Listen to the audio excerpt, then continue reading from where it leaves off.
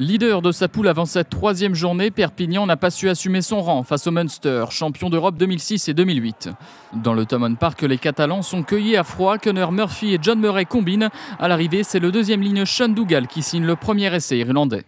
Après une pénalité transformée par Ryan Kitley des 40 mètres, l'USAP est mené 10-0 après 11 minutes de jeu. Un quart d'heure plus tard, le Munster pousse devant l'embut catalan et c'est le pilier Dave Kilcoyne qui aplatit.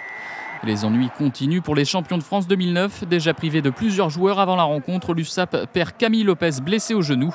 Le demi d'ouverture est remplacé par Tommy Allan à la demi-heure de jeu.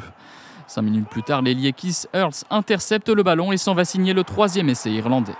Il va finir l'essai, l'ailier international du Munster. On ne le reverra plus. Le troisième essai pour les Irlandais. À la pause, le Munster mène 22 à 0.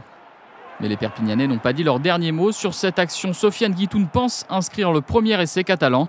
Un essai logiquement invalidé après vidéo à cause d'un en avant de Charteris.